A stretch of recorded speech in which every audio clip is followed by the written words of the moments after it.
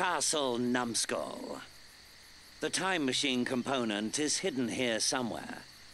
So the castle is heavily guarded. Take out these guys to lure the wizard. Once the guards have gone, these cages will open, dropping the crates. You ready for this? They look a bit mean. This worm looks the easiest. Go for him first. Are you not scared? Good worm. Now go deal with that wizard.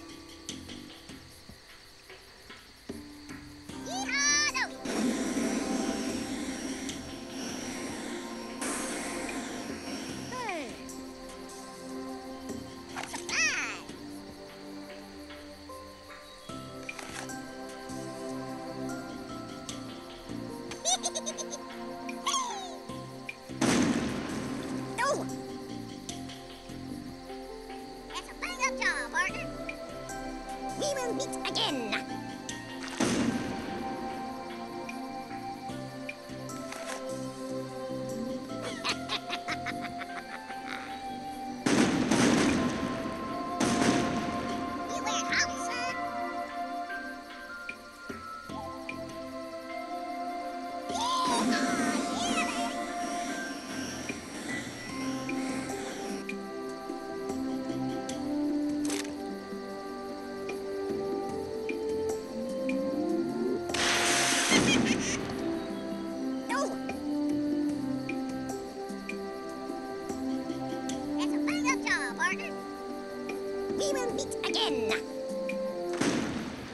Look, it's the wizard.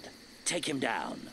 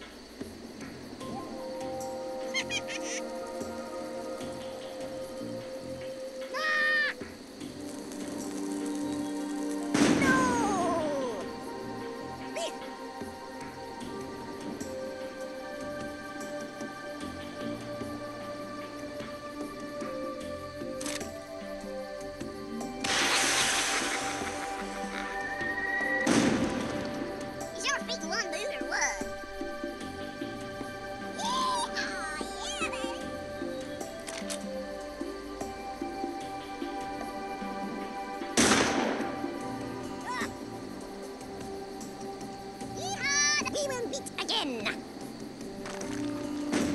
Success. With the wizard defeated, the time machine piece is yours.